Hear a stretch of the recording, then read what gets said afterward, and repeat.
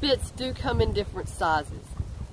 You want it to fit snugly, but you don't want your horse's face getting irritated. This one's a perfect size. It's not too big, it doesn't poke out, and it's not too small so it, it doesn't pinch. Your bit needs to fit this way. Nice and snug with one wrinkle. That's the way I like it. Not too low. If it's hanging low, depending on your horse's age, it's going to bang these teeth.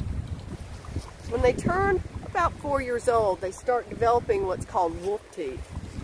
And they come in on the top and the bottom.